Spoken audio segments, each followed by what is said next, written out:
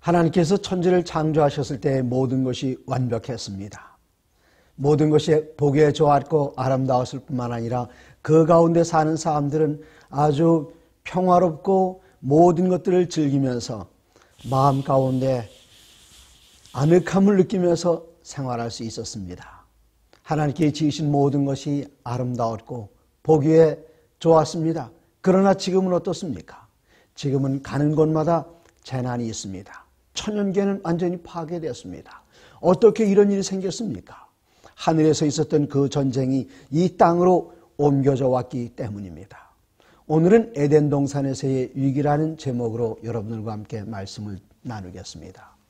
성경의 첫 번째 장 창세기 1장을 펴시면 하나님께서 매일같이 천지를 창조해 나가실 때에 매일같이 하셨던 그 말씀은 보시기에 좋았더라 하시는 말씀이었습니다. 일곱 번씩이나 나옵니다. 창세기 1장 4절에 오시면 하나님께 처음에 빛을 만드시고 빛이 하나님 보시기에 좋았더라 그랬습니다. 빛은 정말 아름답습니다. 우리들은 빛 그 자체를 볼 수 없습니다만은 삼각막대 프리즘을 통과해서 보면 일곱 가지 분광되는 그 모습이 얼마나 아름다운지 모릅니다. 10절에는 하나님이 묻힐 땅이라 부르시고 모인 물을 바다라 부르시니 하나님이 보시기에 좋았더라. 저는 바다를 처음 봤을 때 그 감격이 지금도 가슴을 울렁거리게 합니다. 하나님께서 땅과 바다를 분리하셨을 때에 보시기에 좋았습니다. 12절. 땅이 풀과 각기 종류대로 씨 맺는 채소와 각기 종류대로 씨 가진 열매 맺는 나무를 내니 하나님의 보시기에 좋았더라. 아름다운 꽃들, 아름다운 과일나무들 얼마나 보기 좋습니까? 그 다음에 하나님께서는 18절에 낮과 밤을 주관하게 하시고 빛과 어둠을 나누게 하시니 하나님이 보시기에 좋았더라. 그 하늘에 지어져 있는 천체들만 보시기에 좋았던 것이 아닙니다. 낮과 밤을 나누셨는데 보시기에 좋았더라. 그 아름다움은 낮 시간에만 있는 것이 아니라 밤에는 모든 생물들이 쉬는 쉼의 아름다움이 있습니다. 21절에 또 다시 기록됐습니다. 하나님이 큰 바다 짐승들과 물에서 번성하여 움직이는 모든 생물을 그 종류대로 날개 있는 모든 생, 새를 그 종류대로 창조하시니 하나님이 보시기에 좋았더라. 우리들은 깊은 물속을 자주 들여다볼 기회가 없습니다. 그러나 스노클링을 통해서 그리고 스쿠버 다이빙 하는 분들의 말씀을 들어보면 이 바닷속은 정말 너무나도 아름답다고 합니다. 공중 역시, 공중에 나는 새들 역시 아름답습니다. 또다시 25절입니다. 하나님 땅의 짐승을 그 종류대로, 가축을 그 종류대로, 땅에 기는 모든 것을 그 종류대로 만드시니 하나님이 보시기에 좋았더라.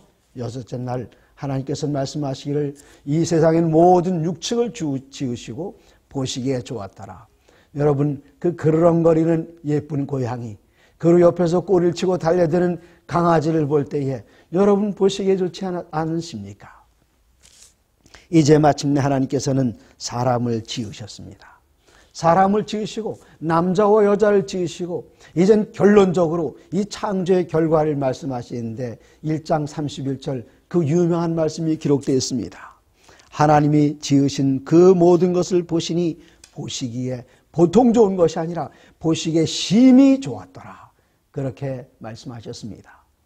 하나님께서는 이 세상을 아름답게 지으셨을 뿐만 아니라 창세기 1장과 2장에 보면은 하나님께서는 천지를 창조하시고 저희들에게 복을 허락해 주셨습니다.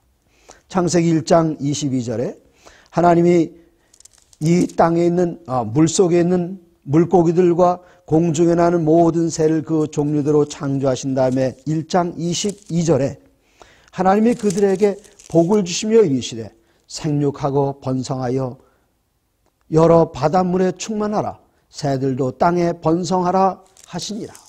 하나님께서는 물고기들과 새들에게 복을 주셨습니다. 그 복의 결과는 무엇입니까? 생육하고 번성하여 땅과 바다에 충만해지는 것이 축복의 결과입니다. 또 다시 하나님께서는 복을 허락하십니다. 이번에는 28절입니다. 어, 하나님이 그들에게 복을 주시며 바로 그 앞절 27절 끝부분에 남자와 여자를 창조하시고 하나님이 그들에게 복을 주시며 하나님이 그들에게 이르시되 생육하고 번성하여 땅에 충만하라 땅을 정복하라 첫 번째 하나님께서는 사람에게 복을 주는데 그 복은 무엇인가 하면 생명력입니다. 생육하고 번성하고 땅에 충만하고 그 다음에 이어지는 하나님의 축복의 결과는 무엇인가 하면은 땅을 정복하라. 바다의 물고기와 하늘의 새와 땅에 움직이는 모든 생물을 다스리라 하시니라. 인간에게 주신 그 축복은 무엇인가 하면은 청지기로서의 사명을 다하는 것입니다.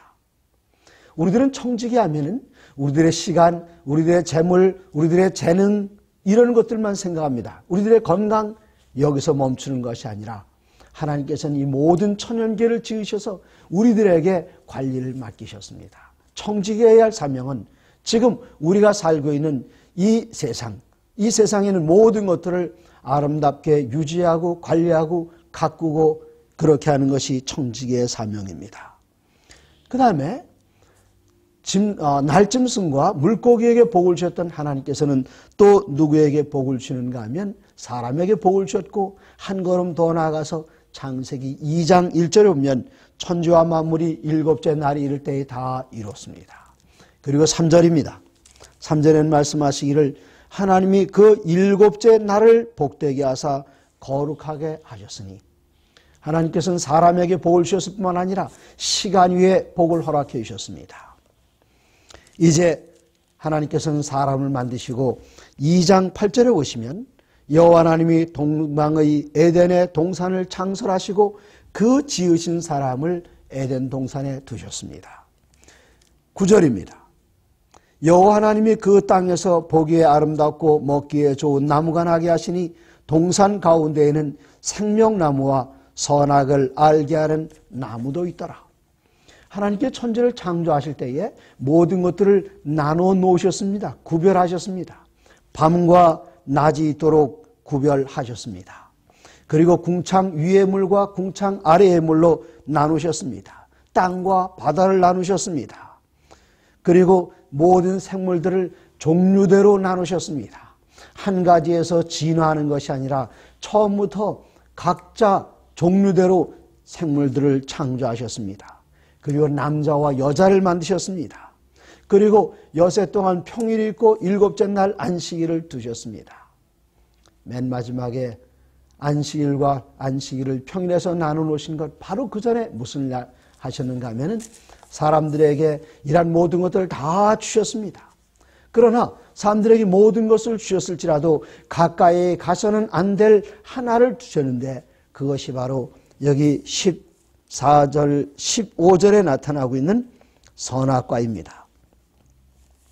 여하나님이 그 사람을 이끌어 에덴 동산에 두어 그것을 경작하게 며 지키게 하시고 16절 여호와 하나님이 그 사람에게 명하여 이르시되 동산 각종 나무의 열매는 내가 이무이로 먹되 17절 선악을 알게 하는 나무의 열매는 먹지 말라 내가 먹는 날에는 정령 죽으리라 선악을 알게 하는 나무의 열매.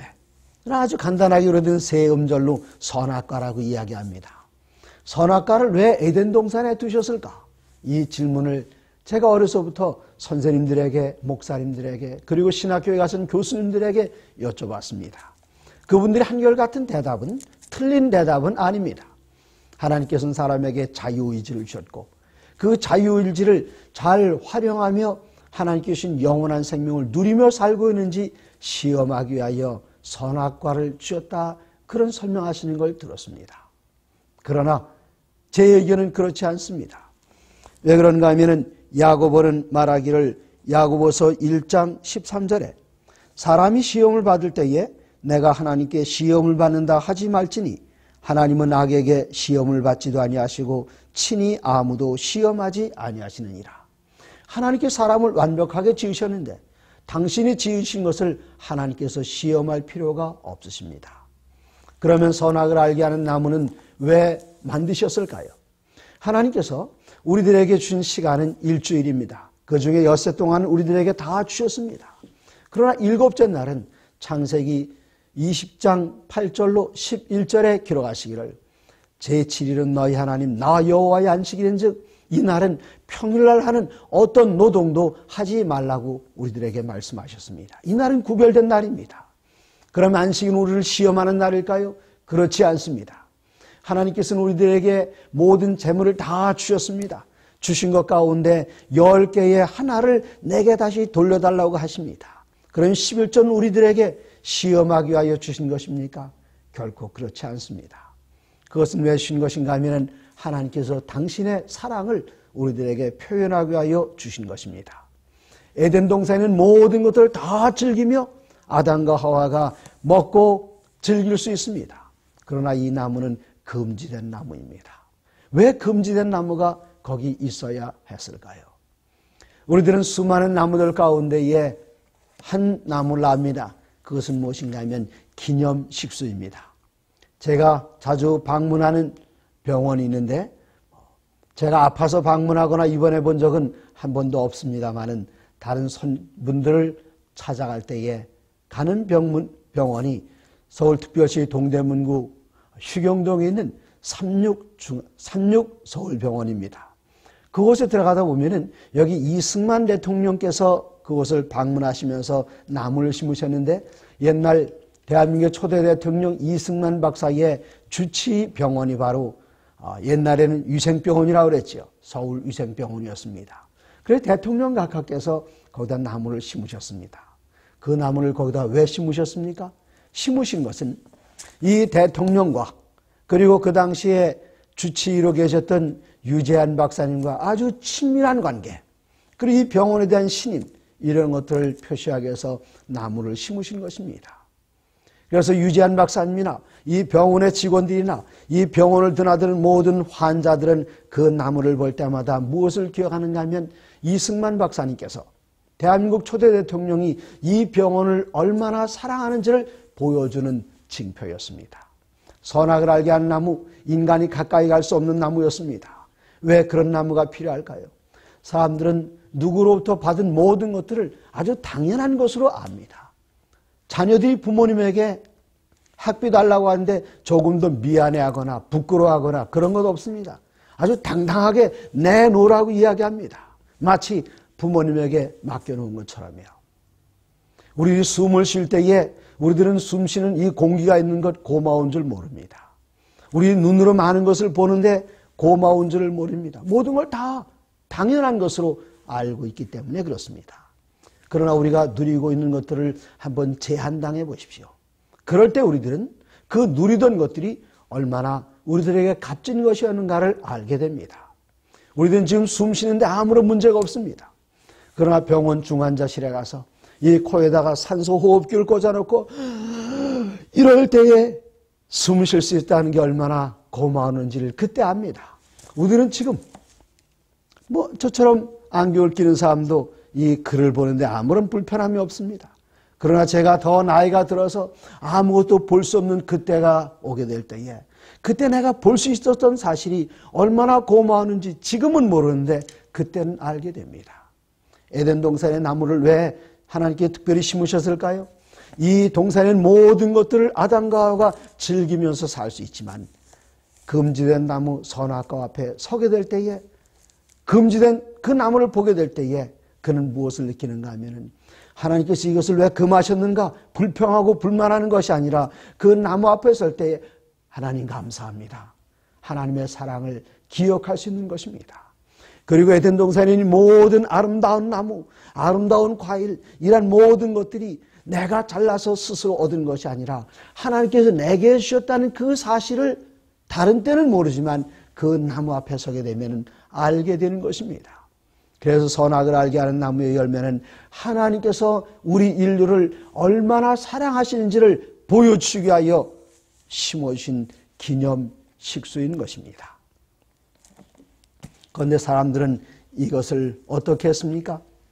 창세기 3장 1절입니다. 그런데 뱀은 여호와 하나님이 지으신 들짐승 중에 가장 간교하더라, 가장 지혜로운 아, 동물이라 그런 뜻일 수 있겠습니다. 사단은 하늘에서 전쟁에서 패배하고 이 땅으로 내어 쫓겼습니다. 그리고 온 우주 어디에도 사단을 받아줄 만한 것이 없습니다. 온 우주를 둘러보다가 인구가 두 사람밖에 안 되는 이제 신생 독립국가 저기에 가면 좀 수월할 줄 알고 그가 에덴 동산에 왔습니다. 그러나 아담은 정말 지혜로운 존재였습니다. 하나님의 형상과 모양 그대로 지음받았기 때문에 IQ가 상당히 높습니다. 이런 아담과 하와를 속일 방법이 없습니다. 한 가지 꾀를 냈습니다. 그것은 직접 가서 속이는 것이 아니라 뱀에게 들어가서 강신술의 방법을 통해서 인간에게 접근하는데 아담과 하와가 같이 있을 때에 접근할 수가 없었어요. 왜 그런가 하면은 하나를 접근하면은 이 다른 배우자가 여보, 그거 먹으면 안 돼. 그게 걱정되었습니다. 그래서 사단은 기회를 노렸는데 언제였는가 하면은 남편과 아내가 떨어져 있을 때에 이것은 위험한 순간입니다. 하나님께서는 남자와 여자를 한 몸으로 지으셨습니다. 불가분의 관계입니다. 한순간도 떨어지면 안 됩니다. 그래서 사도 바울은 뭐라고 이야기하셨는가 하면은 기도하는 때를 제외하고는 결코 분방하지 말라 말씀하셨습니다. 하와가 언제 뱀에게 끼임을 받았습니까? 그것은 남편으로부터 잠깐 떨어져 있던 바로 그 시간이었습니다. 뱀이 가까이 왔습니다. 그리고 이야기합니다. 2절, 1절. 뱀이 여자에게 물어 이르되 하나님이 참으로 너희에게 동산 모든 나무의 열매를 먹지 말라 하시더냐. 여기에 사단이 우리에게 접근할 때에 사용하는 방법이 있습니다. 선악과 먹지 말라 하시더냐? 그렇게 말하는 것이 아니라 모든 나무를 먹지 말라 하시더냐? 그렇게 이야기했습니다. 이때 2절 여자가 뱀에게 말하되 동산나무의 열매를 우리가 먹을 수 있으나 동산 중앙에 있는 나무의 열매는 하나님의 말씀에 너희는 먹지도 말고 만지도 말라 너희가 죽을까 하노라 하셨느니라 죽을까 하노라 아닙니다. 하나님께서는 뭐라고 말씀하셨는가 하면 먹는 날에는 정령 죽으리라 그렇게 이야기했습니다. 물론 하와가 하나님께서 이 말씀하신 걸 직접 듣질 않았습니다. 왜 그런가 하면 선악과를 만드시고 아, 그 다음에 하나님께서는 사람을 만드시 남자를 만드시고 남자를 만드신 다음에 여자를 만드셨는데 남자를 먼저 만드시고 여자를 만드시기 전에 남자에게 이 말씀을 아담에게 이 말씀을 하셨습니다. 그래서 하와는 이 이야기를 직접 듣지 못하고 아담으로부터 전해 들었습니다. 3장 4절에 보면 뱀이 여자에게 이르되 너희가 결코 죽지 아니하리라 결코 안 죽는다. 하나님께서 뭐라고 말씀하셨습니까? 내가 이 선악을 알게 하는 나무의 열매는 먹지 말라. 내가 먹는 날에는 반드시 죽으리라 말씀하셨는데 사단은 결코 죽지 아니하리라. 하나님의 말씀과 위배됩니다. 여기서 하와의 두 번째 실수가 나타납니다. 하나님은 반드시 죽는다 그랬는데 하나님의 말씀보다는 사단의 말에 더 귀를 기울였던 것입니다. 5절 너희가 그것을 먹는 날에는 너희 눈이 밝아져 하나님과 같이 되어 선악을 알 줄 하나님이 아십니다. 아담과 하와는 창세기 1장 26절에 벌써 이미 하나님의 형상과 모양대로 지음받았습니다. 그런데 여기 사단은 말하기를 내가 이 선악을 알게 한 나무의 열매를 먹는 날에는 내 눈이 밝아져 하나님처럼 된다. 그러면 하나님처럼 되는 것 남아있는 것 한 가지가 있는데 그건 뭘까요? 그것은 바로 창조주가 되는 것입니다. 하와가 깜짝 놀랐어요. 이제 알겠구나. 하나님께서 이거 왜 못 먹게 하셨는지, 내가 이거 먹고 자기처럼 하나님 되게, 하나님 될까봐, 창조의 능력을 가질까봐 이걸 못 먹게 해.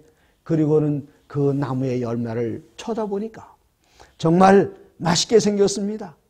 지혜롭게 할 만큼 보암직도 하고, 먹은직도 하고, 그는 따먹었습니다. 이유가 뭐지요? 그 이유는 무엇인가 하면은 하나님과 같이 되려고요. 그러면 하와는 과연 하나님과 같이 되었을까요? 여기 3장 7절에 보시면 이에 그들의 눈이 밝아져 자기들의 옷을 벗은 줄 알고 무화과 나무 잎을 엮어 치마로 삼았더라. 그 열매를 먹게 된 그 순간 일어난 일은 무엇인가 하면 벌거 벗은 줄을 알게 된 것입니다. 벌거벗었다는 그 말은 무슨 말입니까? 사람들은 아담과 하와가 선악과를 먹고 얼마나 있다 죽었느냐 그렇게 이야기하면은 930년 있다 죽었다 그렇게 이야기합니다.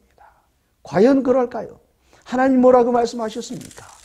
하나님께서는 선악과 먹고 얼마 동안 있다가 죽으리라 말씀하지 아니하시고 창세기 2장 17절에 선악을 알게 하는 나무의 열매는 먹지 말라 내가 먹는 날에는 반드시 죽으리라 말씀하셨습니다. 먹는 날 그러면은 아담과 하와는 언제 죽었을까요? 여기 하와는 선악과를 먹는 즉시 눈이 밝아져 벗은 줄 알았다 그랬습니다. 벗는다는 것은 과연 무엇일까요? 사도 바울은 고린도 후서 5장 2절과 3절에 벗는 것의 의미를 이렇게 표현했습니다. 참으로 우리가 여기서 탄식하며 하늘로부터 오는 우리 처소로 덧입기를 간절히 사모하노라. 이렇게 입으면 우리가 벗은 자들로 발견되지 않으려 함이라. 벗은 자로 발견된다는 것은 무엇을 벗은 자인가 하면 생명을 벗은 자입니다. 생명을 벗었다는 말은 무슨 말입니까? 죽었다는 뜻입니다. 그래서 고린도후서 5장 2절 참으로 우리가 여기서 단식하며 하늘로부터 오는 우리 처소로 덧입기를 간절히 사모하노라. 하늘로부터 오는 그 처소로 덧입는다, 덧입는다는 것은 영원한 생명으로 옷 입는다는 뜻입니다. 그러면 사람이 그날 죽었다고 조금 전에 말씀드렸는데 그것은 무슨 뜻일까요? 하나님께서 아담과 하와에게 오셨습니다. 그들이 숨었습니다. 내가 어찌하여 숨었느냐? 우리가 벗었으므로 숨었습니다. 생명의 하나님이신 그 앞에서 숨었다는 것은 바로 죽었다는 것입니다. 하나님께서 그들에게 여기 성경 본문에는 없습니다만 우리들은 이렇게 유추할 수 있습니다. 선악과를 왜 먹었느냐? 하나님이 되기 위해서 먹었느냐? 그러면 하나님에게는 조건이 있다. 여러분, 하나님의 조건이 무엇인지 아십니까? 출애기 3장 14절에는 하나님의 조건을 이렇게 이야기합니다. 모세가 하나님께 이름이 무엇인가? 백성들이 물으면 제가 뭐라고 대답하겠습니까? 이때 출애기 3장 14절에 하나님이 모세에게 이르시되 나는 스스로 있는 자니라. 이 세상에 존재하는 모든 것들은 다 존재의 원인이 있습니다. 책이 있으면 만든 사람이 있고 여기 이 꽃 조화인데요. 만든 사람이 있습니다. 집이 있으면 지은 목수가 있습니다. 모든 것은 존재의 원인이 있어요. 자식이 있으면 부모님이 있다는 뜻입니다. 그러면 모든 것의 존재 원인을 찾다가 하나님은 누가 만들었느냐? 여기에는 다른 대답이 없습니다. 오직 한 가지 대답이 성경 출애기 3장 14절인데 나 여호와는 스스로 있는 자니라. 하나님은 누가 만들지 않으셨습니다. 스스로 존재하셨습니다. 그래서 하나님께서 아담과 하와에게 실험을 하십니다. 내가 하나님이 되기 위하여 선악과를 먹었느냐? 그런데 내가 갖고 있는 생명은 내가 너에게 준 생명이다. 한 가지 실험을 해보자. 내가 내게 준 생명은 내가 너에게 준 생명이니 내가 하나님이 되었다면 내가 너에게 준 생명을 나에게 반납해라. 그 생명을 나에게 반납하고 내가 그냥 살 수 있다면 너는 신이 되었다.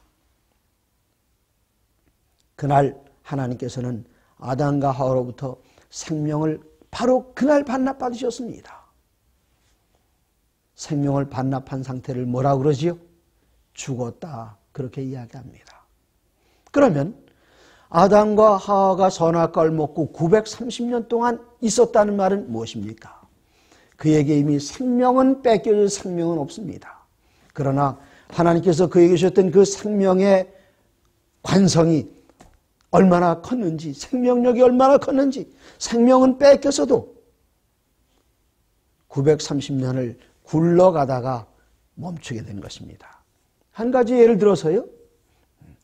그 언덕 위에서 자동차가 내려가다가 엔진이 멎었습니다. 그러면 엔진이 멎는 그 순간 자동차가 딱 제자리에 멈춥니까? 그것이 아닙니다. 끝까지 내려갑니다. 선풍기가 있습니다. 전원을 꼽으면 선풍기가 돌아가지요. 선풍기를 죽이는 방법은 무엇입니까?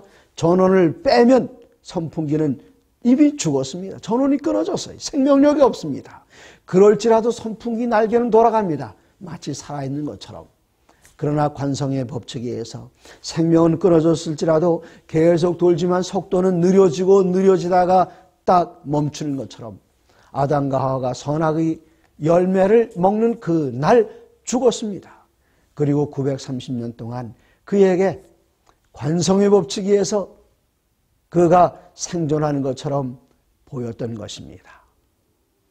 아담과 하와가 벌거벗은 줄 알았을 때에 영원한 생명력을 빼앗긴 줄 알게 되었을 때에 했던 그 첫 번째 행동은 무엇입니까? 그가 죄를 지었을 때 했던 행동들이 여기에 나타납니다. 눈이 밝아졌다 했습니다. 눈이 밝아져서 발견한 것은 무엇입니까? 벌거벗은 줄 알았다. 죽었다는 사실에 대한 확인이었습니다. 8절입니다. 하나님의 낯을 피하였다 그랬습니다. 생명이신 하나님께로부터 피하였다는 사실은 죽었다는 것입니다. 10절입니다. 내가 벗었으므로 두려워하여 숨었나이다. 하나님과 아담과 하와 사이는 두려움의 사이가 아니었습니다. 저희들이 부모님을 결코 두려워하지 않습니다. 그러나 부모님께 잘못했을 때에 부모님을 뵙기가 어려서 두려웠습니다. 무서웠습니다. 야단 맞을까봐. 그러나 결코 부모님은 두려워해야 할 존재가 아니라 부모님은 자녀를 사랑하고 우리는 부모님을 존경해야 할 그런 관계인데 죄를 지으면 두려워지는 것입니다. 하나님이 두려워서 숨었습니다. 하나님께서는 아담에게 묻습니다. 내가 왜 그 열매를 먹었느냐? 아담은 핑계를 냅니다. 12절. 하나님이 주셔서 나와 함께 있게 하신 여자 그가 그 나무 열매를 내게 주므로 내가 먹었나이다.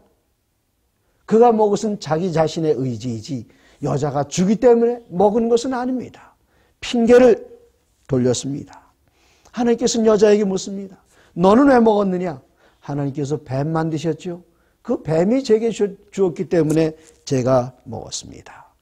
이때 인간이 죄를 지음으로 말미암아 정말 불쌍하게 사단의 하수인이 되었던 뱀, 뱀 그 자체는 죄가 없습니다. 다만 사단에게 이용을 당했을 뿐인데 그토록 아름답게 지음을 받은 그 뱀 역시 14절 여호와 하나님이 뱀에게 이르시되 내가 이렇게 하였으니 내가 모든 가축과 들의 모든 짐승보다 더욱 저주를 받아 배로 다니고 살아있는 동안 흙을 먹을지니라. 물론 뱀이 흙을 먹고 사는 것은 아닙니다. 그 당시에 어, 모세 당시에 흙을 먹는다는 것은 남을 저주할 때 쓰는 상징이었습니다. 흙 먹어라 그런 얘기하지요. 네. 요즘 이 방송에서 이런 표현 적당한 표현 아닙니다만은 한국에서 옛날에 쓴 표현인데 엿 먹어라 그런 표현이 있었습니다. 네. 흙을 먹어라 하는 것은 엿 먹어라 하는 같은 표현입니다. 네. 엿 먹는 것은 엿을 먹는다가 아니라 원래는 염을 먹는 것인데 사람이 죽게 되면 염습을 합니다. 그래서 어른들이 아, 돌아가시고 염습이 끝나면은 금방 염 잡수셨다. 우리가 아, 오랫동안 그런 표현을 사용해 왔습니다. 내가 평생 동안 날아다니지 못하고 이젠 날아다닐 수 있지만 배로 기어다니고 지금부터는 흙을 먹어라 저주의 표현이었습니다. 사람이 선악과를 먹음으로 피조물까지 저주를 받게 되었습니다. 그리고 15절 여자와 원수가 됩니다. 네. 그 다음에 16절에 보시면 여자에게 이르시되 내가 내게 임신하는 고통을 더하리니 임신은 고통이 아니었습니다. 창세기 28장 하나님께서 말씀하시기를 복을 주어 가라사대 생육하고 번성하여 땅에 충만하라. 여인이 아기를 잉태하는 것은 하나님께 주시는 축복입니다. 고통이 아니었습니다. 그러나 이제는 고통이 되었습니다. 이어서 이야기하기를 내가 수고하고 자식을 낳을 것이며 자, 아기를 낳는 것은 수고스러운 일이 아니었는데 잉태의 고통이 따릅니다. 그 다음에 하나님께서는 남자와 여자를 평등하게 지으셨습니다.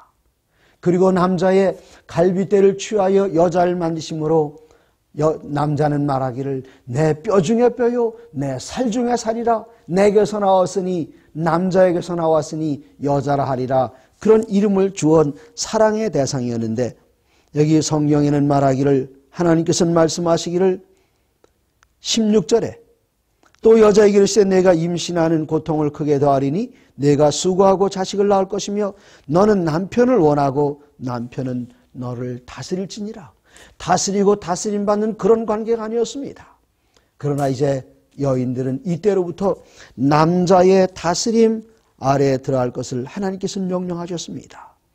남, 그 다음에 이어서 말합니다. 17절입니다. 아담에게 이르시되 내 아내의 말을 듣고 내가 내게 먹지 말라 한 나무의 열매를 먹었은즉 땅은 너로 말미암아 저주를 받고 피조물이 사람의 죄 때문에 저주를 받았습니다. 내 너는 내 평생에 수고하여야 소산을 먹으리라 고생할 것을 이야기하셨습니다. 그리고 땅은 내게 가시덤불과 엉겅퀴를 낼 것이라 아름다운 꽃과 아름다운 열매를 내는 그 땅이 이제는 가시덤불을 내고 엉겅퀴를 내고 사람을 찌르게 하는 인간이 지은 죄의 결과입니다. 마침내 하나님께서는 말씀하시기를 내 얼굴에 땀을 흘려야 먹을 것이라. 그리고 결국 에서는 내가 그것을 그것에서 취함을 입었으니 너는 흙이니 흙으로 돌아갈 것이라. 장세기 3장 19절 하나님께서 너는 흙에서 왔으니 흙으로 다시 돌아가라. 한국 표현 가운데는 사람이 죽는 것을 돌아가셨다. 흙으로 다시 되돌아갔다. 그런 뜻입니다. 얼마나 안타까운 일입니까? 그러나 하나님께서는 여기서 모든 것을 끝내지 않으셨습니다. 사람이 무화과 나무 잎사귀로 옷을 해 입었을 때에 그것은 사람의 몸을 보호할 수 있는 그런 것이 아니었습니다. 하나님께서는 어떻게 하셨는가 하면은 창세기 3장 21절 여호와 하나님이 아담과 그의 아내를 위하여 가죽 옷을 지어 입히시니라. 가죽 옷은 어떻게 생기지요? 한 생물이 죽임을 당하여만 그 가죽을 벗겨낼 수 있습니다. 요한계시록 13장 8절에는 이 사건에 대해서 창세 이후로 죽임을 당한 어린 양이라 그렇게 이야기했습니다. 인간이 창조되자마자 얼마 있어 죄를 짓게 되고 인간이 죄를 짓자마자 누가 죽었는가 하면은 이 인간의 모든 부끄러운 것을 가려주기 위하여 벌거벗은 것을 가려주기 위하여 죽음을 가려주기 위하여 생명의 주님을 표상하는 한 어린 양인 죽임을 당하게 되었고 그로 말미암아 가죽옷이 나오게 되었고 그 어린 양은 자기 가죽옷을 옷을 벗음으로 말미암아 인간의 수치를 가리게 되는데 십자가에 달리신 예수님을 보십시오. 예수님께서는 십자가에 달리실 때에 옷을 입고 달리지 않으셨습니다. 벌거벗고 돌아가셨습니다. 이때 예수님께서 벌거벗음으로 말미암아 우리들은 입게 되었습니다. 예수님께서 돌아가심으로 말미암아 생명을 내어주심으로 말미암아 우리들은 생명을 얻고 영생에 들어갈 수 있는 소망을 얻게 되었습니다. 우리에게 어린 양을 보내주셔서 영원한 생명으로 다시 하늘을 회복할 수 있게 하신 하나님의 사랑과 은혜를 감사드립니다.